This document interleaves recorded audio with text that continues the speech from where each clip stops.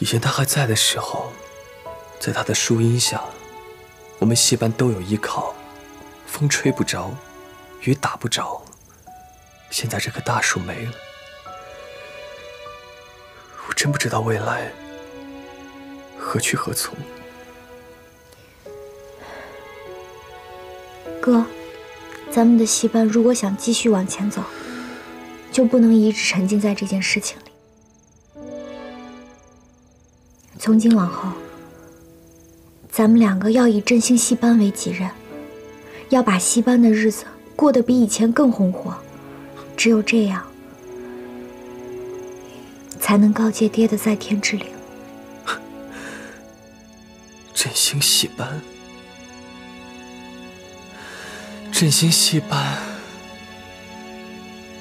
谈何容易啊！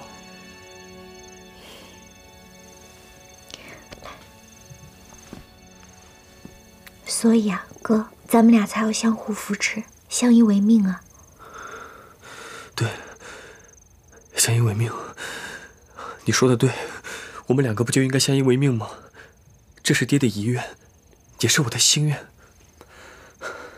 爹临终的时候已经说得很清楚了，你才是这个戏班的班主。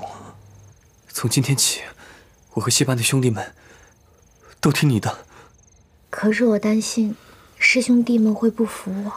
怎么会呢？要不是当时你在戏台上救师傅的场，我们早就被龙福戏班的马老板轰走了。你天分本来就高，现在是我们戏班的角儿，也是全都江的角儿。要是有人不服你，我段天赐第一个站出来跟他理论。但是哥，这班主的位置本来应该是你的，我觉得有点对不住你。有什么对不住的？我们两个本来就是一家人，分那么清楚干嘛？我段天赐也不是个心胸狭隘之徒。从今天起，你主外，我主内，我们两个把日子过得红红火火的。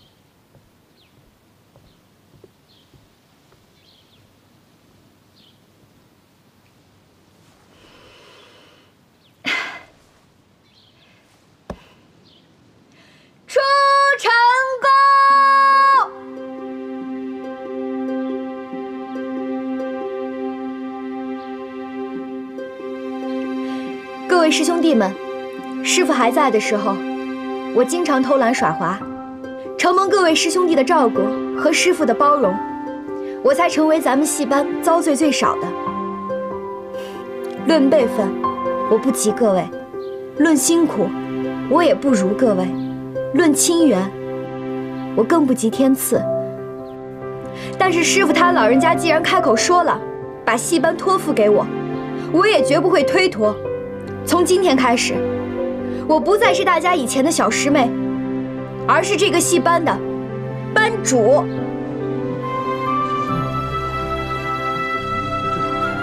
想当初，师傅他老人家就是在这儿鼓励咱们戏班在东江第一次亮相，可是直到他老人家去世，都没有再登上过舞台。倒是我，误打误撞。成了大家嘴里所谓的名角，但是师傅教导过我们，在这东江，他们什么样的名角没见过，什么样的好戏没听过。如果不使出压箱底的绝活，我们如何在这东江站得住脚跟？戏，不是我一个人的戏，而是大家的戏；戏班，不是我一个人的戏班，而是大家的戏班。师傅他老人家在天上看着我们呢，咱们每一个绝不能给他丢人，绝不能给师傅丢人，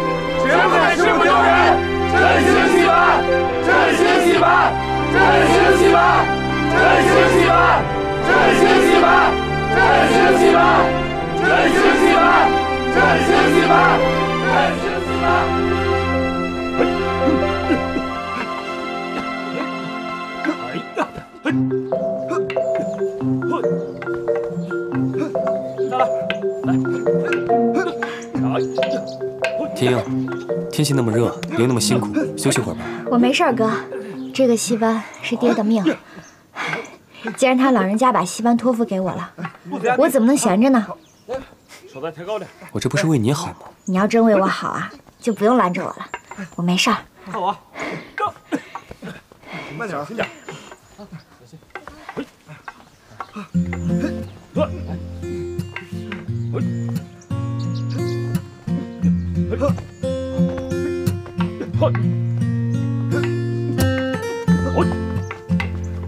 哥，嘘，小点声。你这什么时候结束啊？我胳膊都要抽筋了。哎，我平时叫你好好练功，你偷懒不练，关键时刻给我掉链子是吧？使劲扇。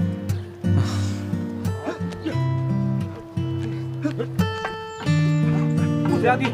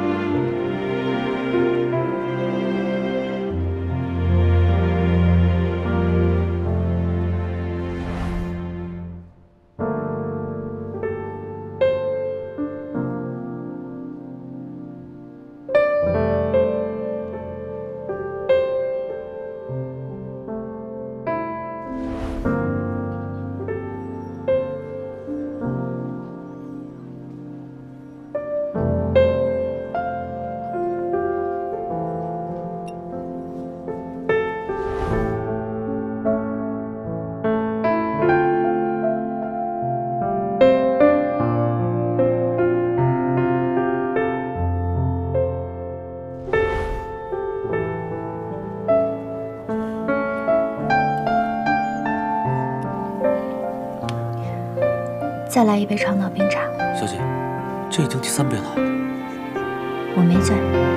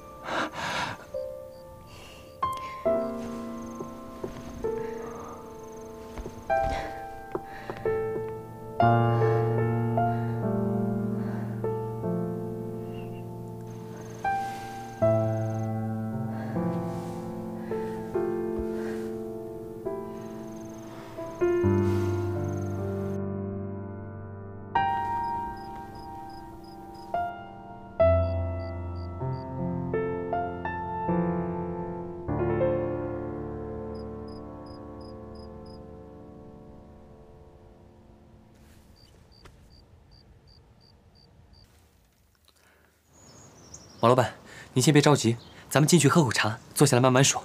还慢慢说啊？就就别慢慢说了，你这是让我等到什么时候啊？马老板，哎呦，怎么天姑娘，你可算出来了。行，咱啥话都别说了啊，赶紧走吧。去哪儿啊？去哪儿？当然是隆福戏院了。这九岁红一走啊，你们戏班可是有日子没开工了。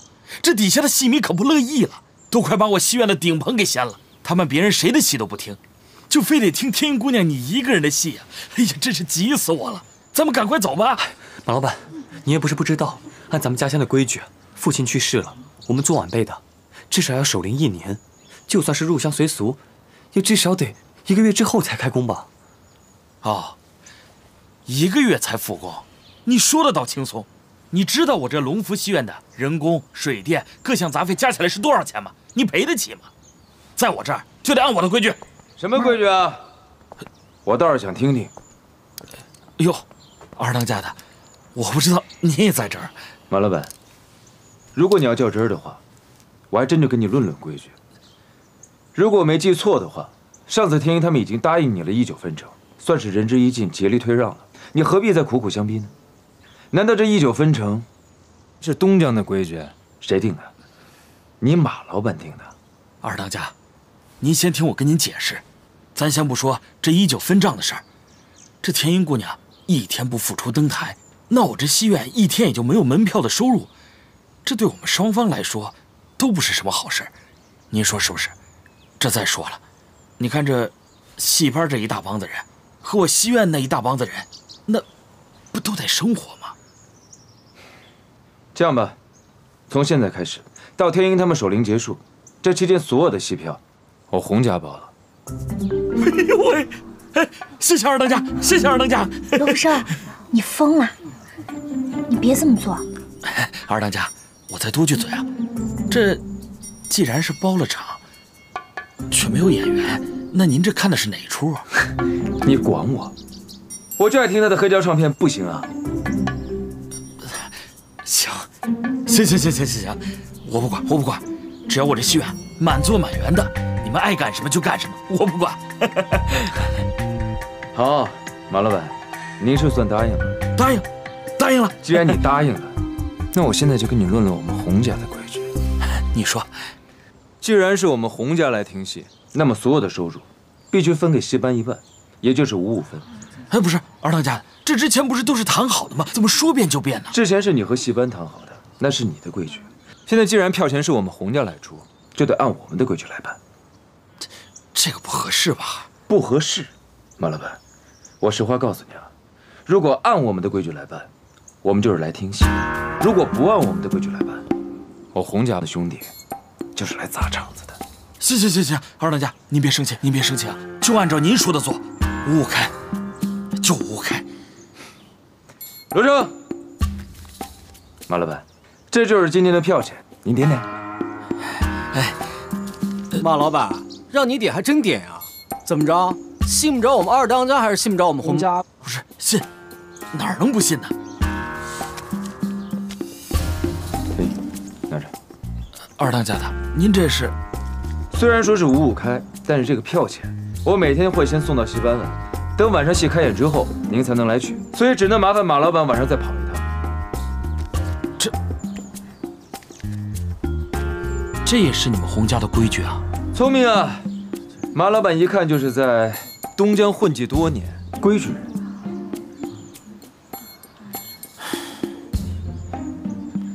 那行，二当家的，那我就告辞了。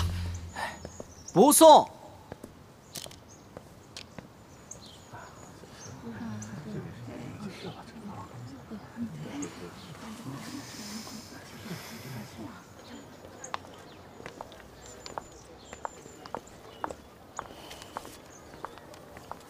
罗福生，这个钱你还是得收回去，我们戏班不能收的。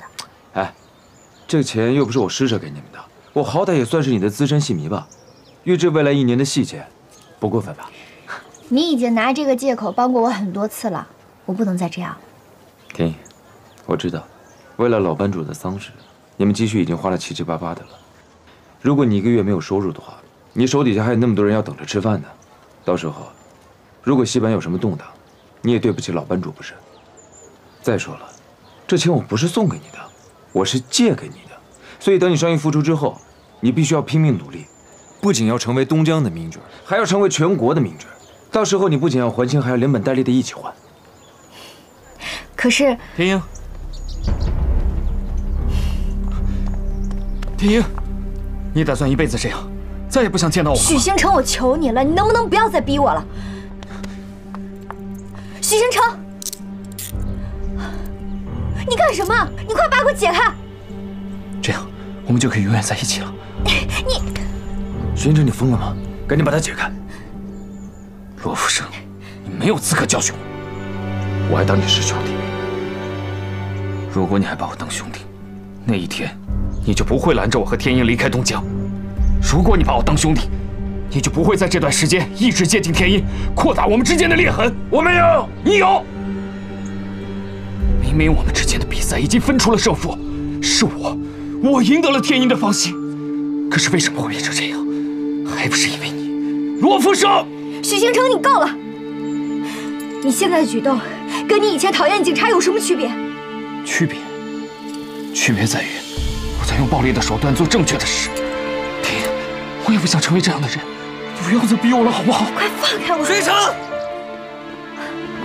我在院子里就听到你的声音，你这个害死我爹的凶手，居然还敢上门挑事，还敢抓天鹰！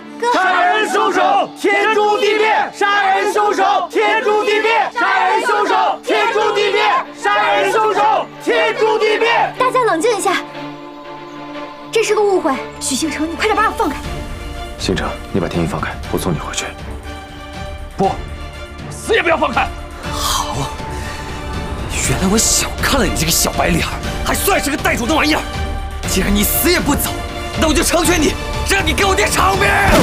师兄，师兄，师兄，师兄，师兄，师兄，怎么样？师兄，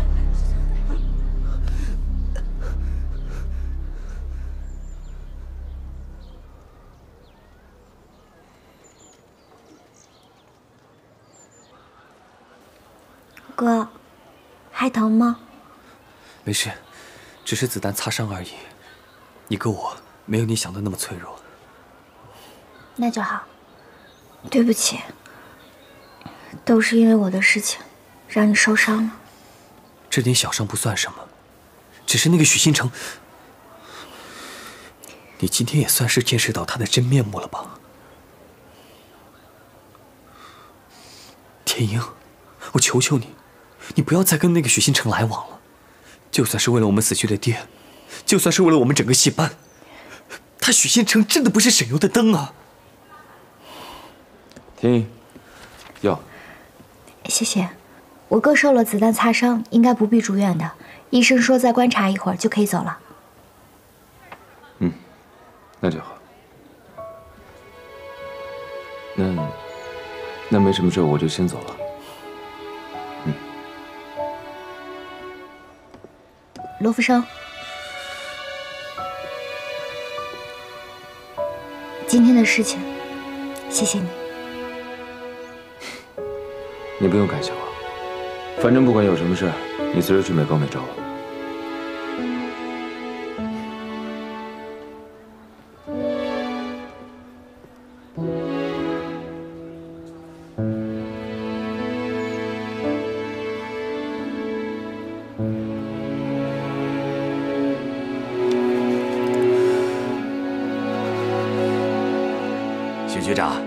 上次您派人送给我的千年人参，我还没来得及当面道谢呢。来来来，小事情，请。嗯，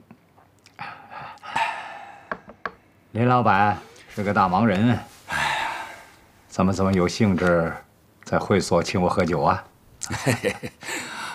徐局长，你太严重了。嗯，就算我再怎么忙，都应该约你出来。你不要忘记，咱们两家人是世交啊。对对对对对对，许家、林家，还有洪家，我们三家可都是世交。嗯，哎，只是这段时间走动的越来越少了。但是你最近不是跟洪家走动的比较频繁吗？哈哈，那还不都是为犬子能早点安定下来？说到这儿，我得多说一句啊，你们两家现在好像关系有点微妙，让我这个做兄弟的在中间不太好做呀。徐局长，说白了，如果今天不是看在您的面子上，我想我们林家跟洪家根本不可能有什么往来的。哎，好了好了，不谈这个了，我言归正传啊。我听说这个洪家好像被一个叫什么兴隆馆打压的非常厉害，真有其事吗？哎呀，这不知道从哪儿冒出了一个什么兴隆馆，在东江占了很多的地盘，的确。对洪家造成了很大的威胁。哎，所以我说嘛，正是物极必反，盛极必衰。徐局长，您说对吧？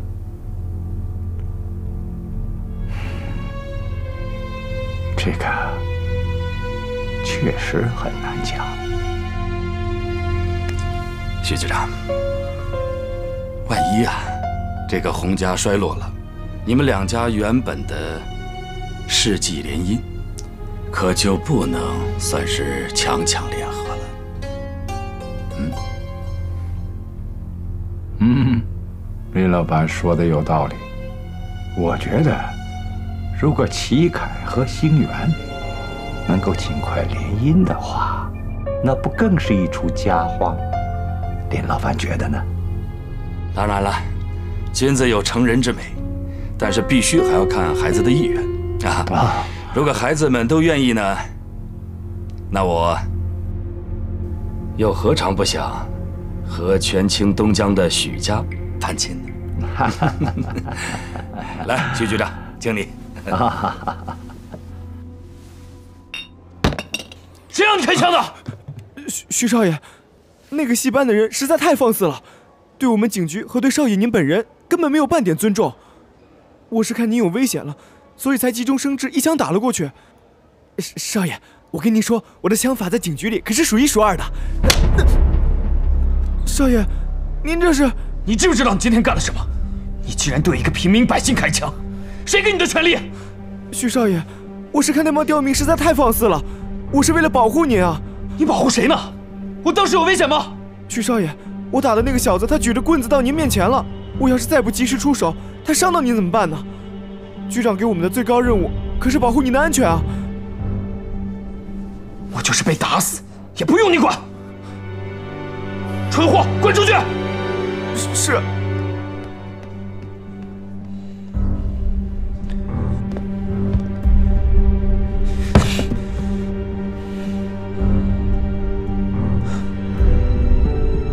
来，老板，我来。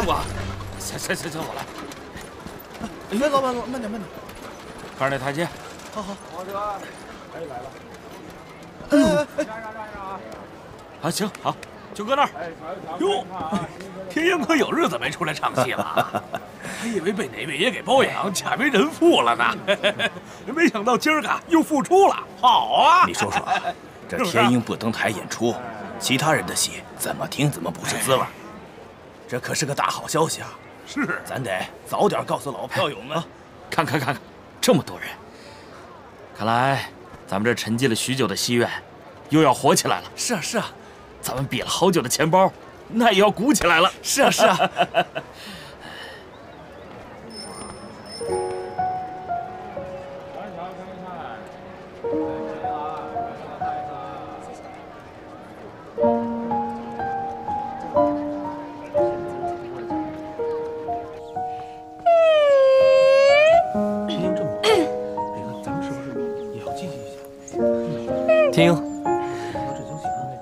吊了一上午的嗓子，谢谢吧。谢谢哥。谢谢师弟。今天晚上的演出胭脂快不够了，那快去准备一些吧。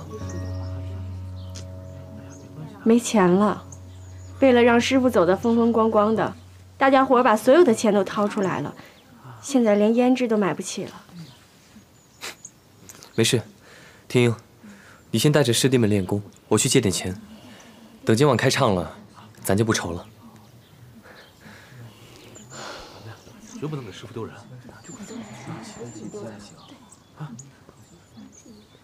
哎，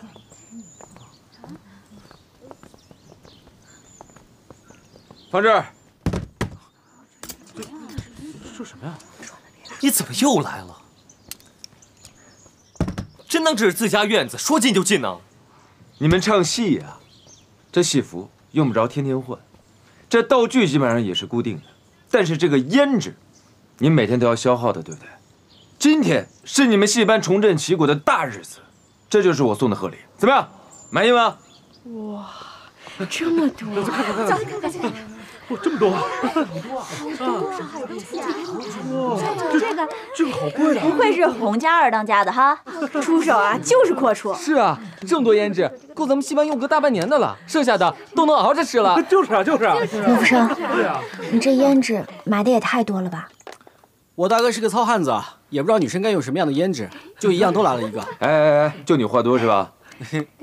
哇，我这个都有啊。对，这个颜色，这颜色。我觉得这个胭脂的颜色呢，特别适合你，喜欢。罗福生，这胭脂呢，不只是我们唱戏用的，还有很多是那些小姐太太平时用的，这个就不适合我。这这胭脂还有那么多讲究啊？当然了，这些能退吗？退什么退呀？哎，你们听着啊，你们挑一下，你们唱戏能用的，你们就留下来用；如果不能用的，你就留着自己平时用啊。我啊。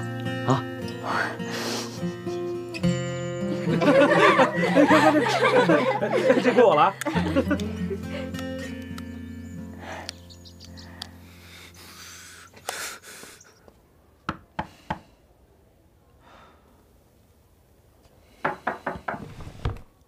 进来。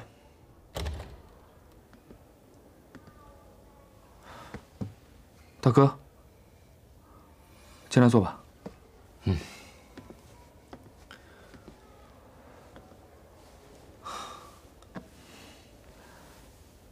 大哥，怎么今天这么有空来找我？哼，我今天来啊，是为了你跟福生的事。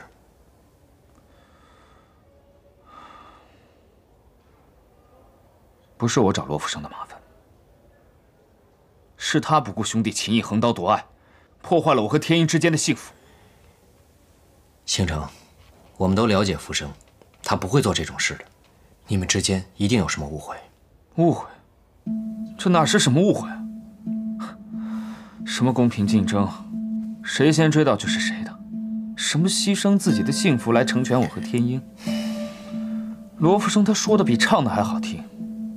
却一直在暗中使绊。星城，也许事实的真相不是你想的那样。看在大哥的面子上，给福生一个解释的机会。大哥，不是我不给你面子，只是经过了这么多事情，我对罗福生已经彻底失望。我永远都不会再相信他。星城。我们是二十年的兄弟，你忘了吗？我没忘，我只是知道，人善就会被人欺。星城，大哥，别再说了，我知道该怎么做。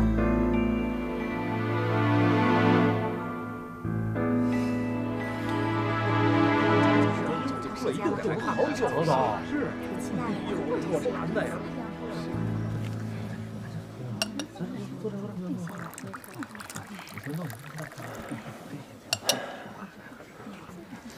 哎，哥，喝口茶吧。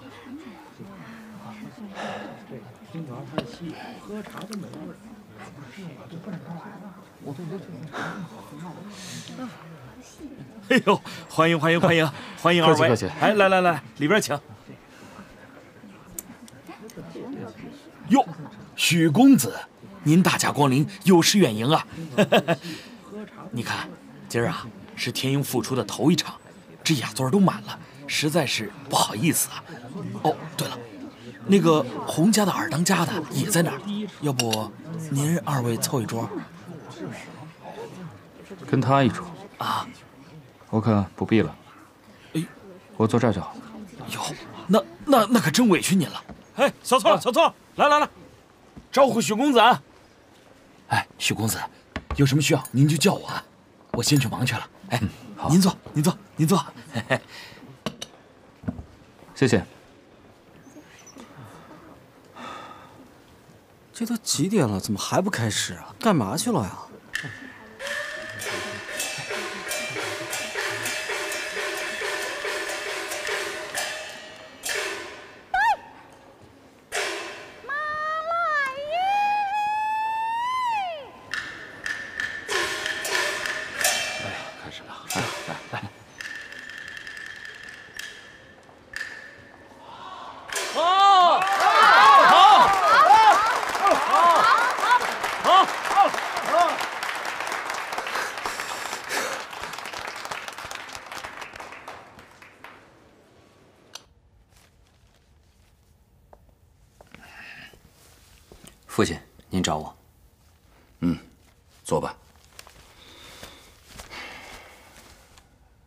最近在忙些什么呢？啊，电影公司正在筹备一个新的电影，我正在做准备。你真的肯定，你盯着的不是女主演洪家大小姐吗？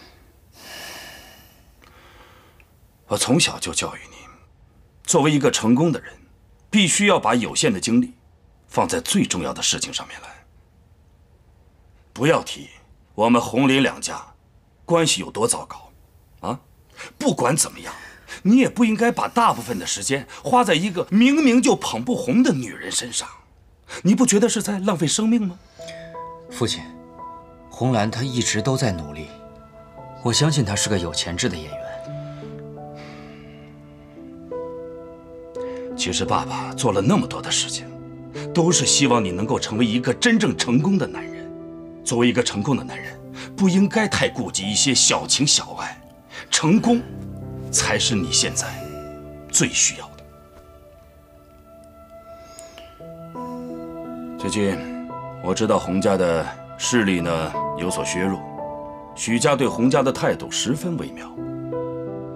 我看许星城跟红兰的婚礼不是完全没有变数。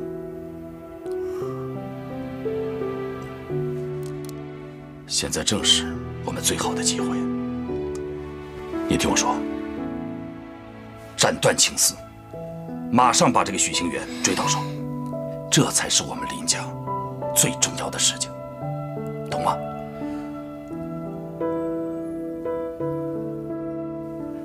我明白。您放心，父亲，我会把工作和感情分得很清楚。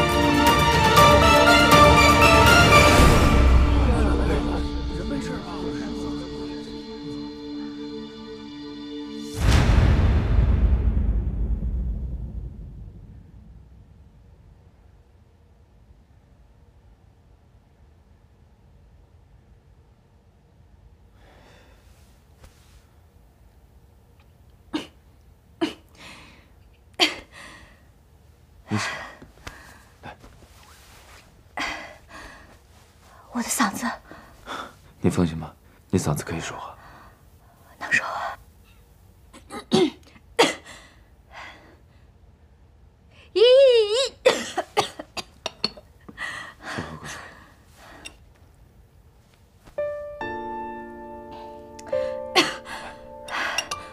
我嗓子怎么样？医生是怎么说的？你别着急，医生说你的嗓子是暂时性的，可能是因为最近压力太大导致的，所以你一定要放松一点，别把自己逼得太紧了，你知道吗？放松一点，我的嗓子就会好。马老板，我求求你了，你再给我们多点时间，天一他一定会好起来的。